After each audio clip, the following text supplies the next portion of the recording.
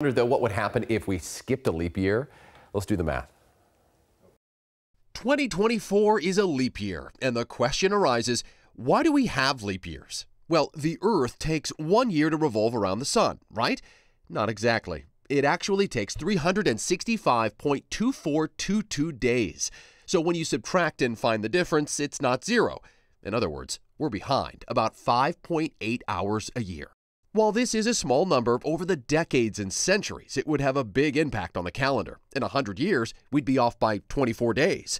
So instead of the first day of spring being March 19th, without a leap year, it would be February 23rd, and so on and so forth. So, to help synchronize the time, the solution that was introduced centuries ago, we add one day every four years. Problem solved, right? Not quite. When you subtract the amount of time it takes for the Earth to complete one revolution around the Sun with this new solution, you find out we're still about 11 minutes off a year. In over 100 years, we'd be off by about 18 hours, which doesn't sound like a big problem, but over the centuries, it would eventually throw us off quite a bit.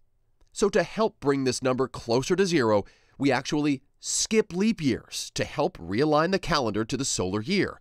But the rules are very specific, so to help understand it, we'll use a kind of leap year hopscotch to solve the problem.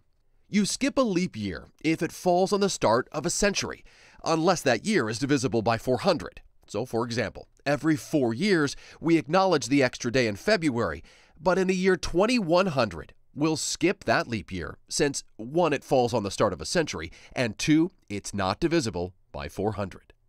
Back in the year 2000, it was a leap year, but since it was divisible by 400, we didn't skip it. Still with us?